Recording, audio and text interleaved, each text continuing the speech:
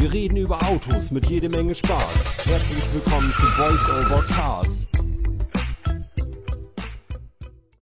Genau so sieht's aus. Hallo und herzlich willkommen hier auf Voice Over Cars. 36 cm lang, 10 cm hoch und inklusive Außenspiegel 14 cm breit. Das ist der Chevrolet Camaro aus dem Jahre 1969, der nun von Lego am 1.8.2022 auf den Markt kommt.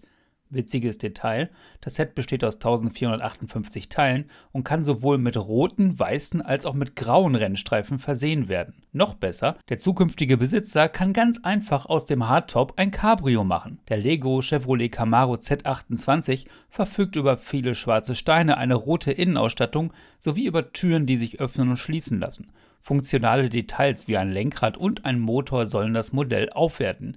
Klingt eigentlich alles super, oder? Das Modell weckt bei mir auch das uneingeschränkte Haben-Wollen-Feeling. Naja, zumindest so lange, bis ich den Preis gelesen habe. Das Lego Set 10304 kostet, haltet euch fest, Liste 169,99 Euro.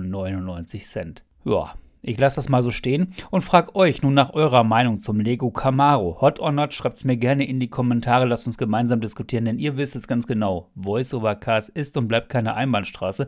Und ich habe schon so ein paar Lego-Sets jetzt hier wieder auf Lager. Das heißt, wir starten demnächst eine neue Staffel von Jens baut auf. Freut euch drauf. Bis zum nächsten Video. Euer Jens. Ciao. Voice Over Cars. Und das war's.